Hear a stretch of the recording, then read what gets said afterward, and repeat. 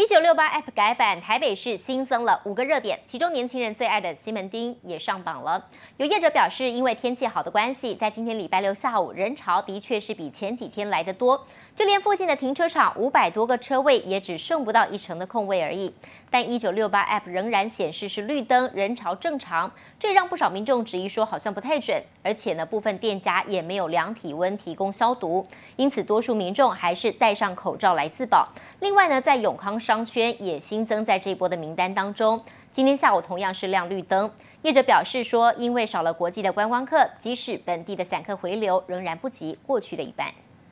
人来人往，逛街吃饭，台北市西门町人潮逐渐回流，算比平常多吧。一九六八 App 改版，西门町也被列入热点名单。不过看看周六下午 App 显示绿灯，人潮正常，但附近的停车场停车位却剩不到一成，民众怎么看？我觉得不准，因为这人潮还是很多，尤其是里面的里面的状况，看起来人多人多人多，要维持就是一点五公尺的社交距离，不不太可能啊，不可能，不太可能。无法保持社交距离，大型服饰店入口也没有消毒量体温，民众自保，口罩还是戴紧紧。同样被新增为热点的地区，台北市永康商圈周六下午 App 也显示绿灯，过去充满观光客，如今只剩本地散客。麻烦一下为您量一下额温。知名餐厅持续防疫 SOP，量体温再消毒，座位保持距离。不过似乎不是每家店都能做到，碍于营业空间，部分业者座位的距离还是很近。用餐如何兼顾防疫，民众得自行衡量。多少都会看一下，如果有像额温啊，或是用那个酒精消毒的话，比较会过去比较安心。我在想，是不是内陆以后反而成为人家不敢来？